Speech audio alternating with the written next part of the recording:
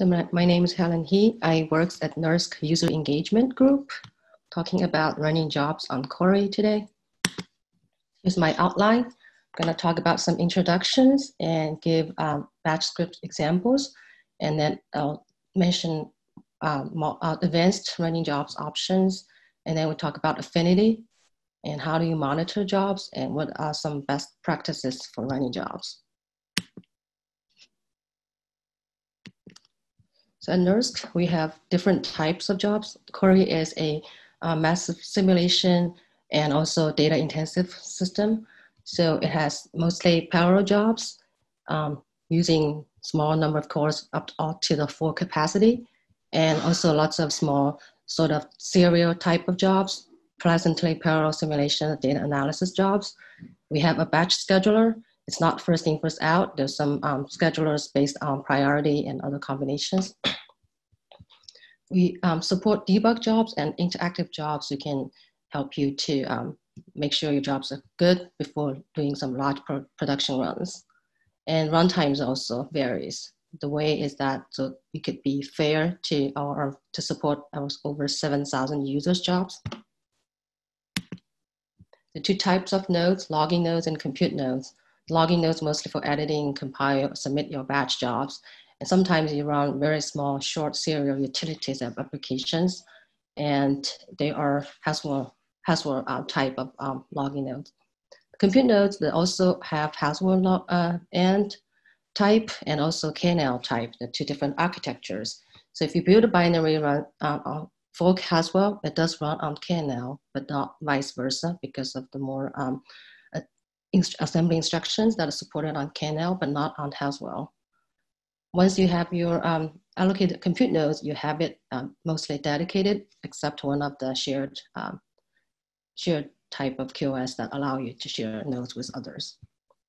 I want to show you um, a, how does a compute node, how does the Slurm recognize um, a compute node with the number of cores numbering, and also um, just getting some background of the um, NUMA node and different memory access looking uh, distance, etc.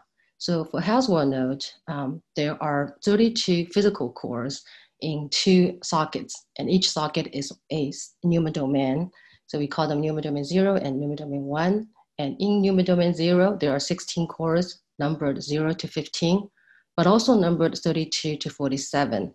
So the green numbers are um, actually, we call them zero and 32 are on the same physical core, but they are two uh, logical cores meaning there are actually two hyperthreads per core on each um, physical core. There are a few ways on the right side to tell you how to find out this information so that we get to um, plot this diagram for you. And when um, there are memories attached to each socket or each NUMA domain, and a core access to memory local to itself is faster than it has to access memory on the remote uh, NUMA domain. So when we're running jobs, we have to take care of this affinity stuff. I'll, I'll talk about this more later. Here's an um, example KNL compute node. There are different modes. Um, the mode we're using by default now is called quad cache. Um, there are 68 physical cores and each core has four hyperthreads. So in Slurm's um, I, it has 272 CPUs per node. There's a DDR memory, but also some high bandwidth memory. Um, it's called HPM, HBM or MCD RAM um, in general. Uh, it is uh, in the quad cache mode, it is considered as a cache um, for the memory. So in this mode, actually there is only one NUMA domain. there are other types of um, KNL nodes that you have can reserve by reservation only do have different uh, number of NUMA domains, then also have to worry about memory access. But um, in quad cache, it's basically you can sort of view it as a memory homogene hom homogeneous on the node, but except it has four cores, uh, four hyperthreads per core, and some of the numbers here, 0, 68, 136, 204 are on the same physical core, and all the way down to here and some numbers here because we're going to use it later to, to show you the affinity stuff as well. So when you're submitting a batch job, you would have a batch script prepared. In it has some directives to ask for resources to schedule your job. You ask for how long your job needs and what type of uh, nodes, what type of QoS, etc. And then you would submit to the batch system, uh, either via SBatch, and then with, with SBatch, you submit in the queue, and then you come back, forget about it, come back and check your results. Or you do salloc, which is interactive. You would get a prompt back um, on a compute node, and you can watch your job run live, submit it run live. So here is a simple illustration. There's a login node in it. You submit with SBatch or salloc, and we ask you not to run big executables on login nodes because it's shared resources. You're going to impact other people's responses, um, interactive response. And don't do srun directly on login nodes. We would like you to do this after you SBatch and salloc. You get onto um, head node.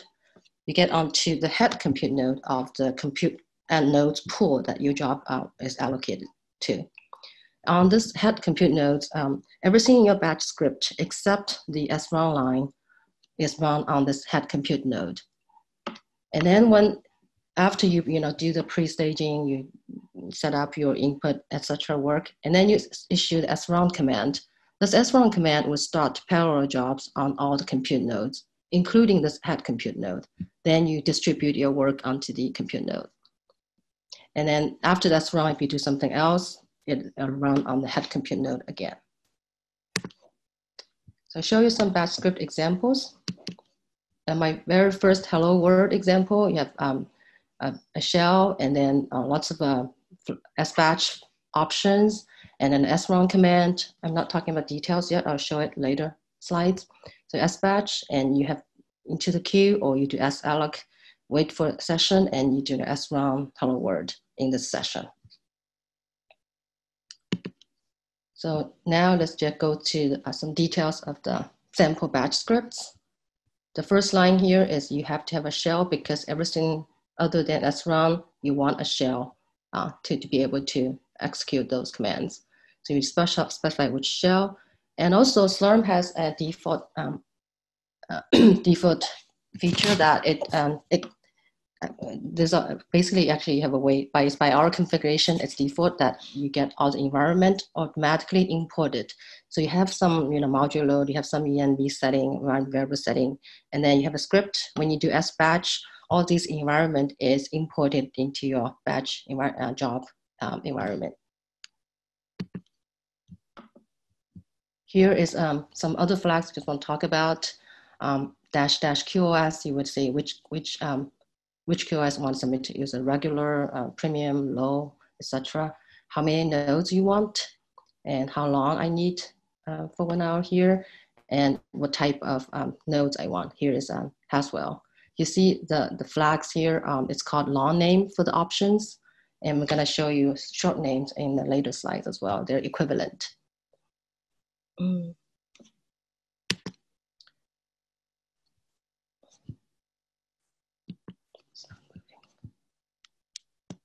uh, the slide's not progressing.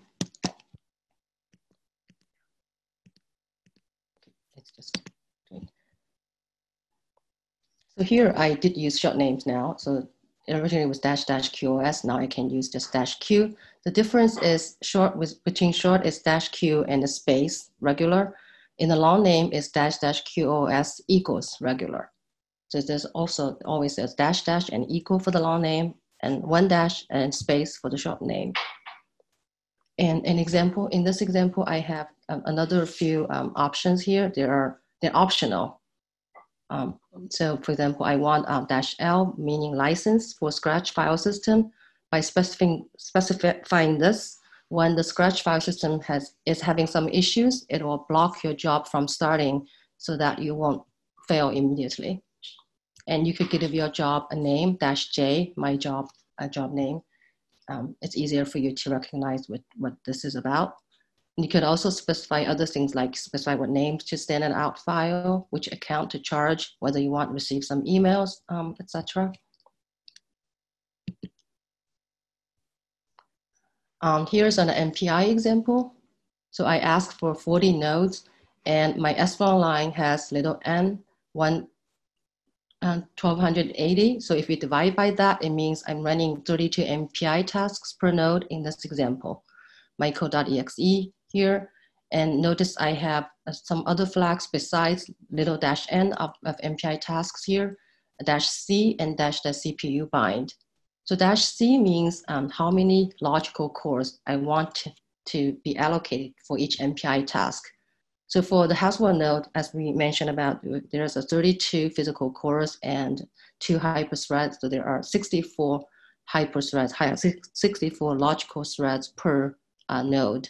When I'm running 32 MPI tasks per node, I would like to give two logical cores per MPI task. So here is the C value about, so it's, it's two. Um, and we also find out that we need dash CPU bind equals cores, especially when the node is not fully um, occupied, like you're running less, a fewer MPI tasks than available um, physical cores. We want to, to, the CPU bind to each of the physical cores so that it's also better for the affinity, especially for KNL that we will mention later. Here's an example, it's still an MPI code. Um, sometimes your source code may have OpenMP enabled and you, or some libraries will use uh, OpenMP by default. But for example, you want to run a pure MPI code, you want to make sure you're running only one OpenMP thread, you would like to include uh, this setting OMP num threads equals one here so that you're not accidentally running many, CP, uh, many threads that you don't um, intend to.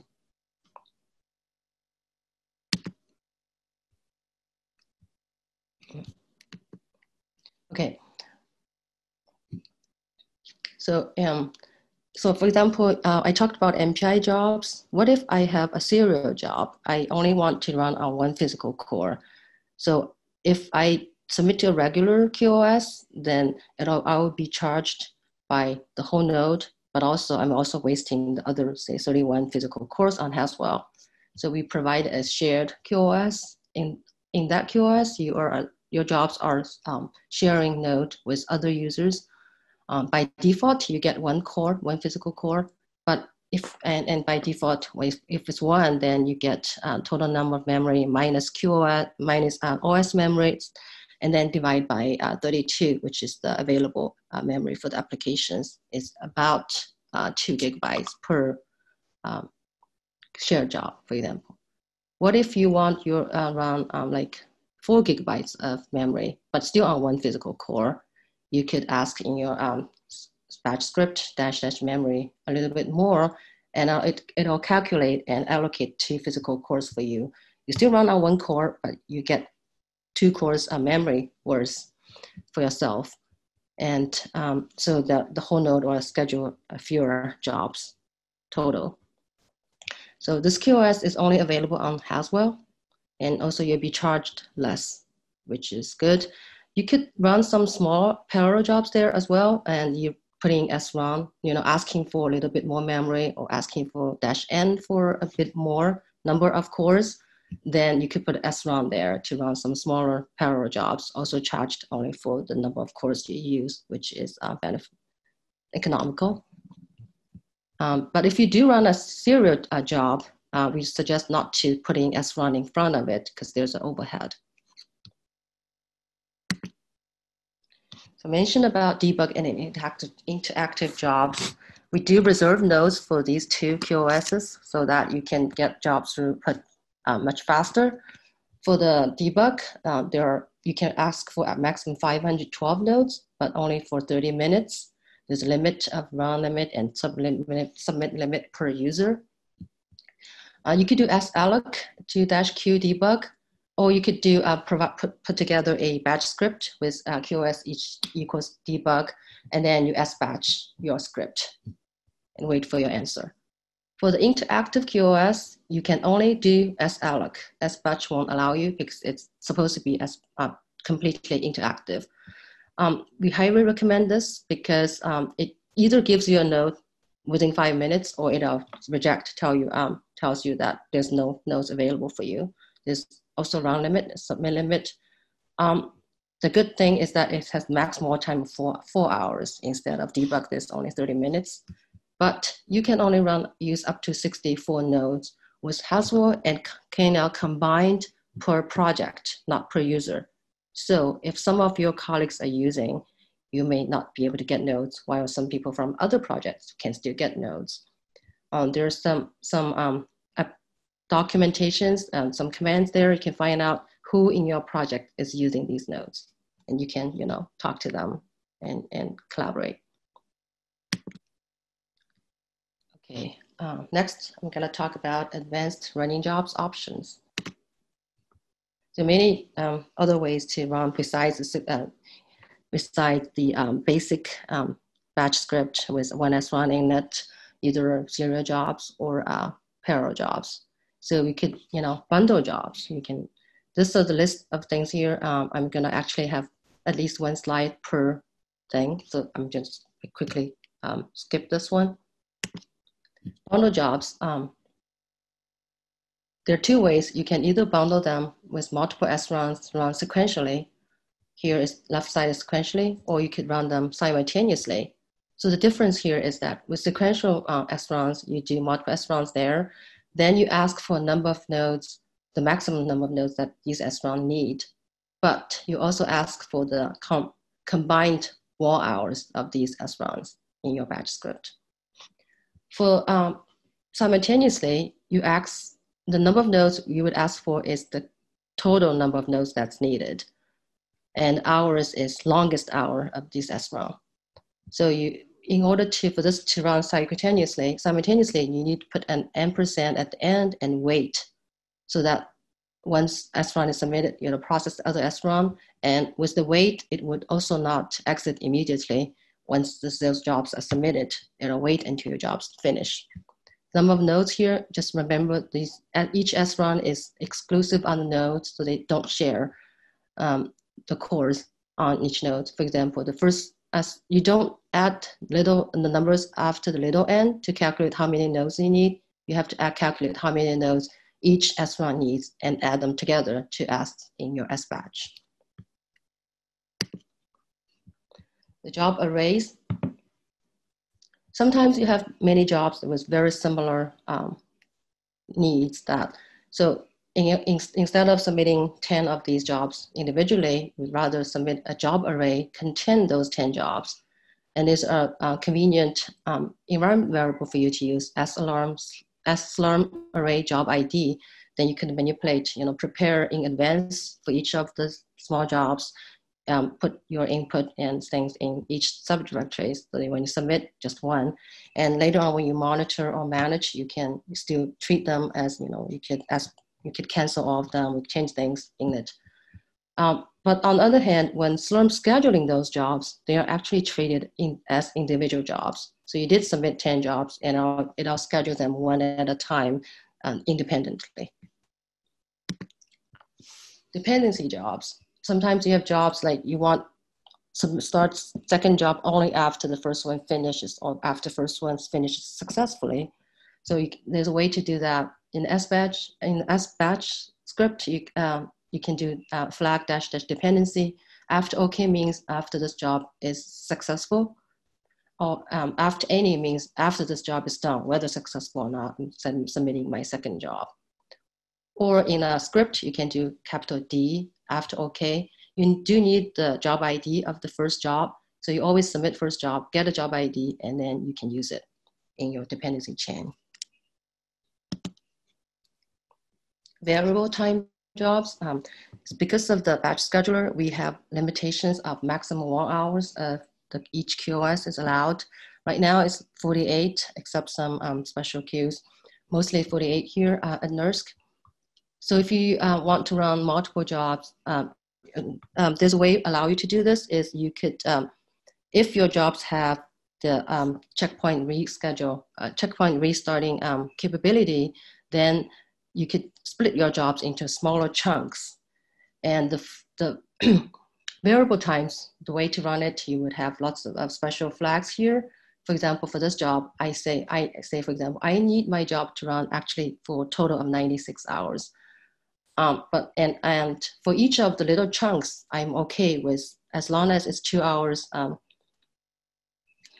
two two hours um, a chunk uh, between two hours, and then maximum of each individual job is 48 hours. So if I put that in my script, I may get chunks of anytime, anywhere between two hours and 48 hours. Then, um, then when this job is finished, I did my own checkpoint restart, and then the scheduler will requeue your job automatically with this dash dash requeue flag. so that it um, also remembers how many um, hours your job's already run and then continue for you. So there are other some some special um, scripts in there uh, as well and flags here. Signal means I uh, my uh, my job would be interrupted um, 60 seconds and I give it 60 seconds to do the checkpoint after each little chunk of job. Um, the checkpoint command is your script to do checkpointing, or if it, there's nothing to do, you can leave it empty as well. Checkpoint equals empty is fine. And there's a setup uh, uh, script you have to in, include it in your script, and then you have to requeue your job with a function track about this um, special um, uh, flag. Then you do a regular srun and with an ampersand and wait. Um, so so with this capability, because you're asking for time minimum equals um, two hours, we have a special QoS that's it not has to be tied to the variable job, but it's very beneficial to do it because you uh, in Flex QoS we give you huge um, amount of charging discount, 75% now. So you only charge one uh, quarters of, of um, hours used. The because of this, you know, minimum time minimum of um, of you, you can only ask for time minimum of up to two hours so that these jobs like when scheduler would try to, to find um, lots of scheduling holes we call them backfill holes when scheduling those small chunks of jobs it won't affect the uh, starting of bigger jobs so your jobs may much be easier to um, get through this is beneficial to you and for us it's also you know help us to um, improve our system utilization so FlexQoS to variable time jobs um, is a good thing to do. Check out these uh, documentations, please. we talked about overrun QoS earlier as well. Uh, when your project zero and active balance, you have to you can submit to the Q overrun QoS or uh, overrun shared if you want to uh, use shared nodes. Lowest priority, zero charge. You and you have to do dash Q overrun uh, explicitly with uh, time. You also have, have to include time minimum of up, up to four hours in your script. The workflow manage, management tools, um, if I have a large number of similar jobs and if I have some other, you know, I want some automation, moving data, multi-step processing, this is the, the tools you should use. One such example is I have say 10,000 of one core jobs. Please don't do for i equals one to one tens out as from my eight out out. This is really inefficient. And also because of uh, the continuous srun with, with no um, time space interval, it really overwhelms our scheduler. There are a few tools, um, GNU Task Farmer, Fireworks, etc. So there's a talk um, on workflow to, workflows um, explicitly this afternoon for details. Uh, burst buffer is um, another thing that, uh, for, especially for users jobs with large I/O need, it's um, very good for you. You improve um, your um, I/O bandwidth because the uh, these nodes are burst buffer are located uh, directly um, next to your compute nodes with more um, metadata servers as well. So there's also a special talk this afternoon on burst buffer for usage examples. Shifter is a like similar compatible to the popular Docker container. So user can run Docker containers on their systems, which allows you to use your own custom software environment so that you can maintain, you know, your, you don't have to rebuild your um, applications. You can manage reproducibilities, lots of uh, benefits. Uh, we also have a separate shifter talk this afternoon. um, ask for jobs, sometimes you have um, a big, big, big production round, but also your data is not on Cori, on Scratch. They're actually on tapes in the uh, archive storage. So if you put those um, preparing, um, transferring data and before and after jobs into your large simulation run, it's, it is really cost you lots of allocation hours. So the way uh, we, we created this Xfer QoS, which actually runs on some of the login nodes. That's why it's on a different Slurm scheduler named ES Cori. So you have to add dash capital M ES Cori in your batch scheduler, uh, batch script. Then you could run regular HTAR, HSI stuff to get your data to your uh, to the location on, on the Cori local file systems. And if you later on you actually want to monitor those jobs, you would also module, module load ES Cori and then do the regular um, queue monitoring scripts to, to see these jobs. Big mem jobs as well, um, they are running on some special large memory uh, login nodes. Um, again, dash capital M ES Cori, and then you do QoS uh, big mem, and then you can ask for how much memory you need for your um, application. Okay, are there any questions so far? Uh, no, actually, there's been a few in, in the doc, but we've answered them all. Thanks. We go on with the affinity on the process, thread, and memory affinity. So as I mentioned, um, the, the affinities is actually because of the uh, where your memories with your memory is relative to your physical core with your um, threads are CPUs are it, it uh, will affect your job performance. So process memory affinity means how do you bind your MPI task to CPUs. Thread memory, a thread affinity means how to bind threads to CPUs allocated to each of the MPI process. And memory affinity means how to allocate memory from specific NUMA domains. And uh, with the correct affinity, it's it's a lower hanging fruit uh, if, as, as long as you understand it, but also without it, your performance could hurt many, many um, folds. So it's, it's, it's, it's, it's essential to do this. It's also, it's the base for you if you want to do further uh, performance optimizations. We also want to uh, promote OpenMP standard settings, um, such as OMP proc bind, OMP places, um, instead of some of the vendor specific um, settings. There's a Intel settings, there are Cray settings, so we try to promote uh, standard settings. There's a page uh, docs uh, in the documentations, job slash affinity with lots of details and best practices and explanations there. Please check it out. So what if I just run a naive srun, especially say on KNL nodes, around 16 MPI tasks and eight OpenMP threads on 68 core KNL. I do set my OpenMP threads, I do set my OpenMP settings, then I just run n-n16, my executable. It, it turns out it's really a mess. It gets you the thread zero on rank zero and thread zero on rank one. They're, they're overlapping on the same physical core. So these numbers are the, the, the numbering I showed you earlier. So zero and zero on the same um, uh, physical core, of course, and 144 is physical core eight, and another again.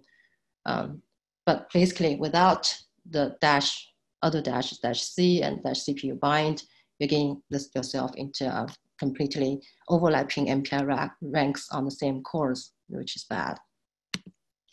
So the reason is because 68 is not divisible by number of MPI tasks, which is 16 here.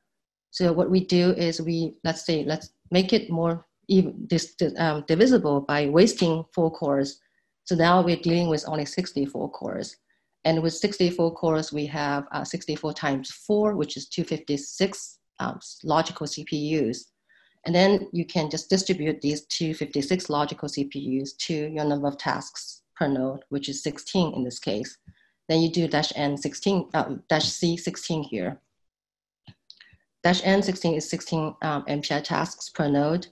Dash C16 is 16 CPU logical 16 logical CPUs per MPI task. Then you also adding the CPU bind equals cores. With that, it's now you're spreading out um, your tasks and threads. So I have this how how it shows that it spreads out.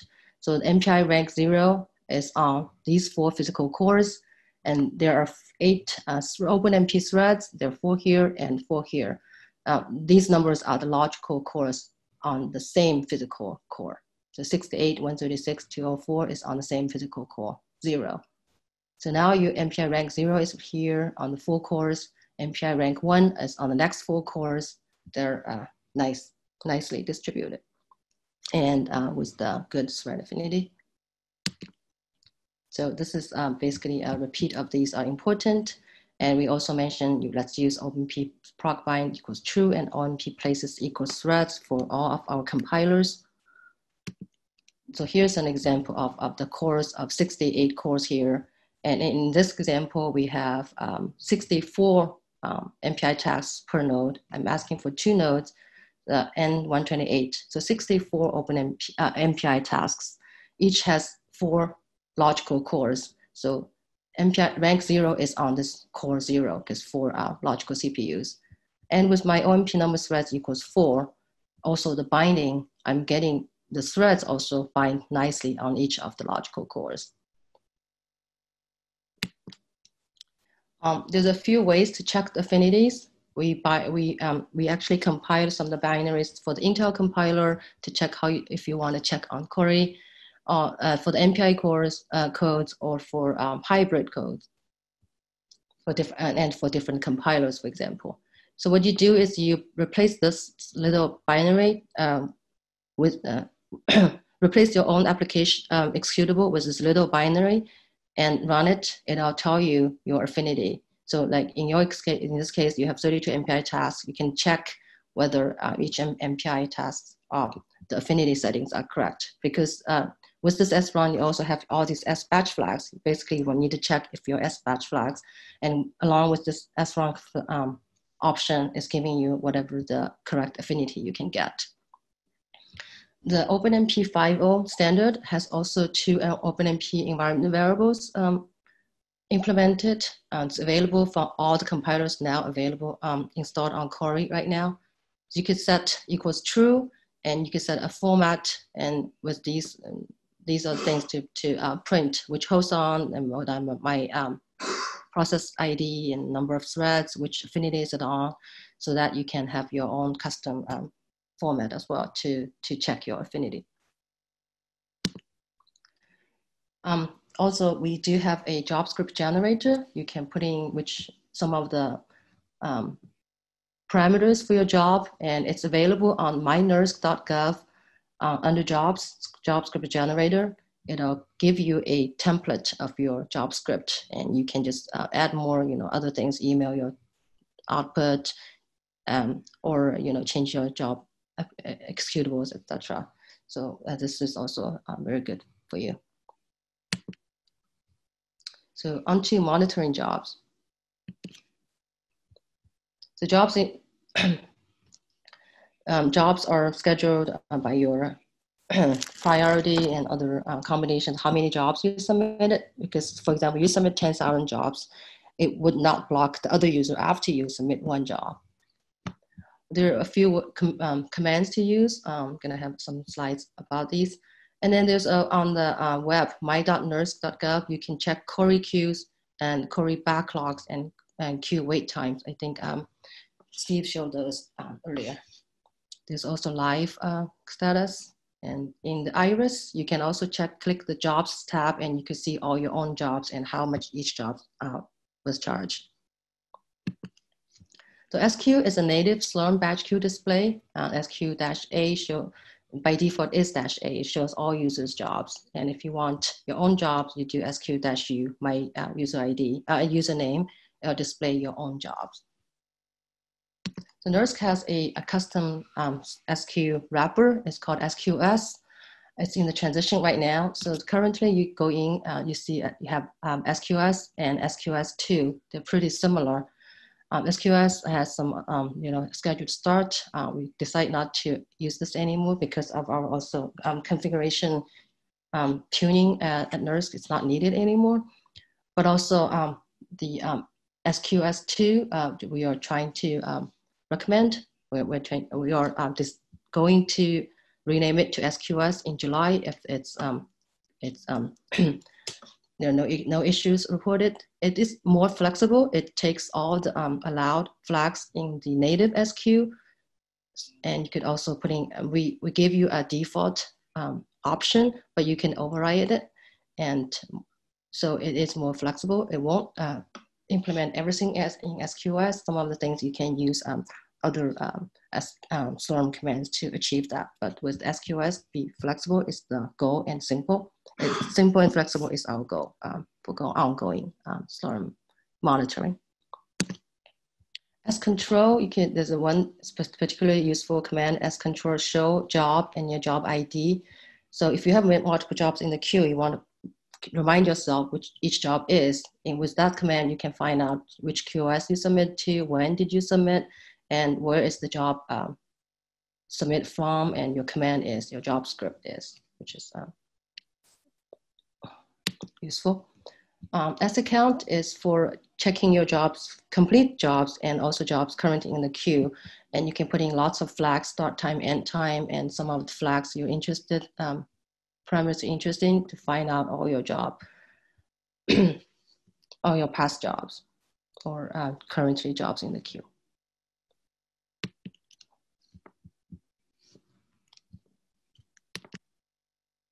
So yeah, so now I'm going to talk about some uh, best practices for running jobs.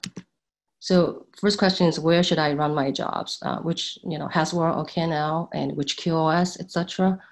So the factors to consider is uh, whether how long the, each wait time is. You know, much it current back if you check backlogs up um, in on my NERSC, you'd see backlog on KNL is much smaller than on Haswell, especially KNL is four times bigger than Haswell.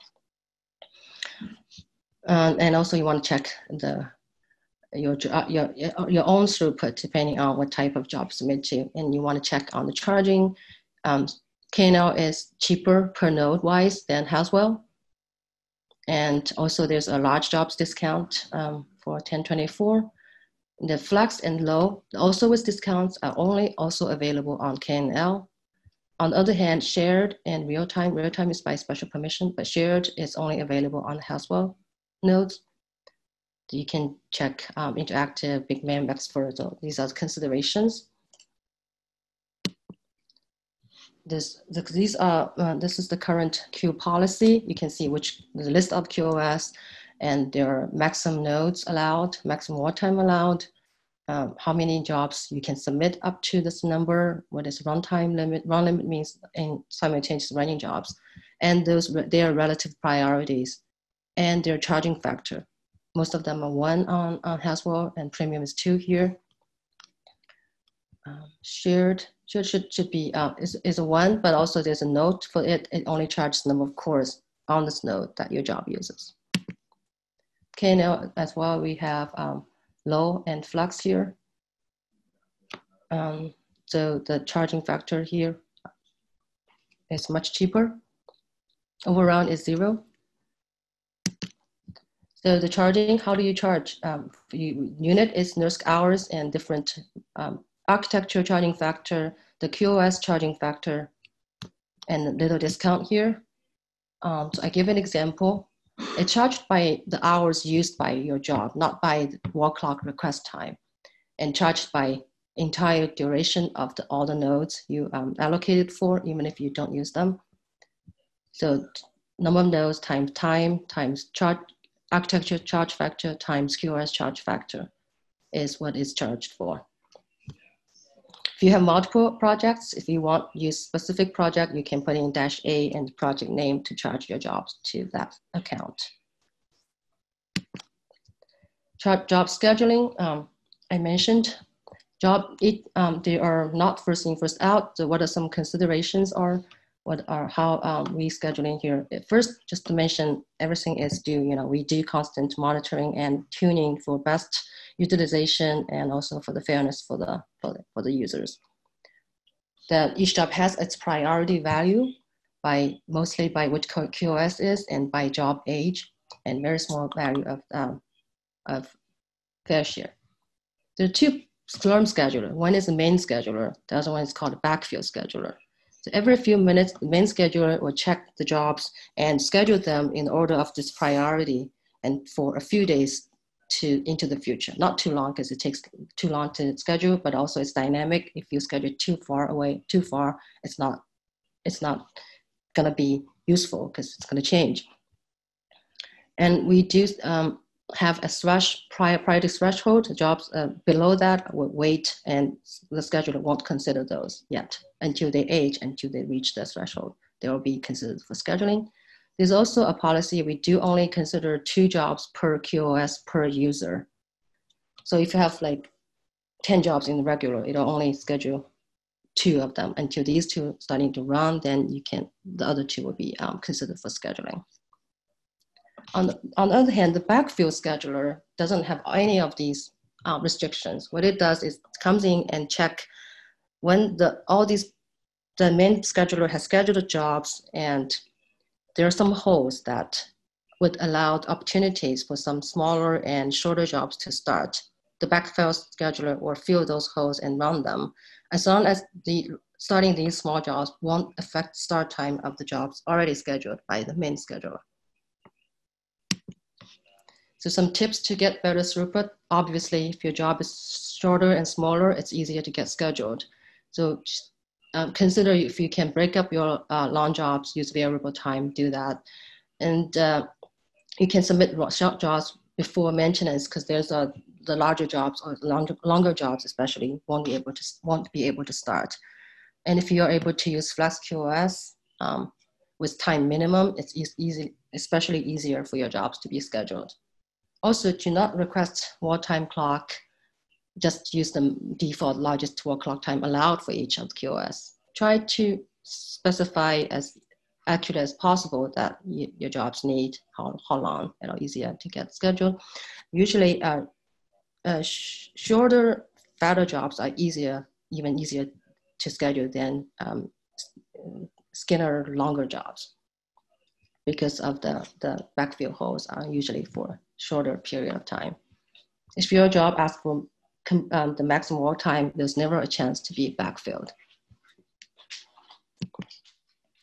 Uh, some of the large jobs consideration, it's, it takes time for your job executables input, etc., to be staged on the compute nodes to start to run. So one of the um, tip is to do sbcast and cast your uh, executables onto the compute nodes then you srun that um, executable directly, which, which will be faster. You can even um, SBAT batch your input files as well. There's um, a link to check this out. And also we would like to uh, recommend if you, you, you prefer, you can build uh, statically to run large jobs. The reason is because the shared um, libraries uh, goes through an extra layer of software called DVS to access um, through uh, on the on the Lustre file system, and also everything running from um, the global file system, your home home directory, your uh, community file systems, even um, and also through the DVS. So if you and to access the um, on the compute nodes.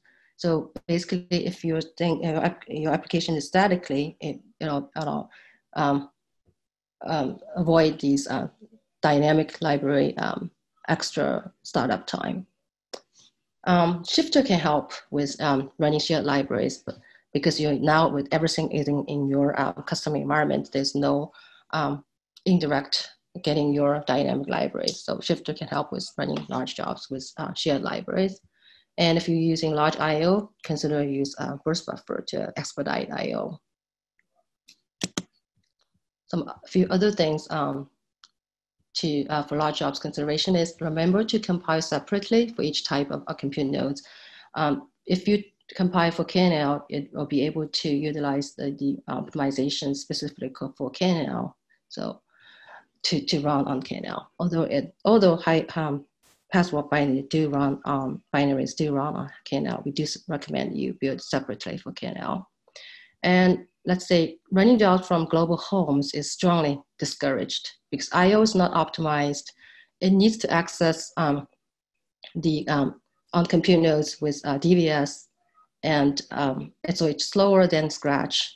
And once I uh, home global home is is, is busy, is um, it will cause neg- negative impact for other users, even doing an LS or you know, VI, and slow. It, gonna um, slow down the system there's a place you can put also put out consider to put your project's um, shared library into a global common software.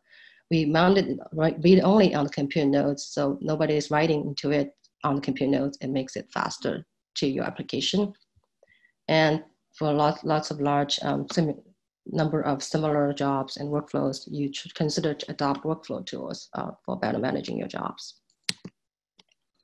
Um, more information is docs.nersc.gov slash jobs. There's also another um, different set of documentations I'm not covering in this talk. It's uh, special for Cori GPU nodes. Some users may have access to, but it's not for all users at all. It's only very small number of users. But if you do need to run GPU nodes um, on the GPU nodes, check out this um, documentation.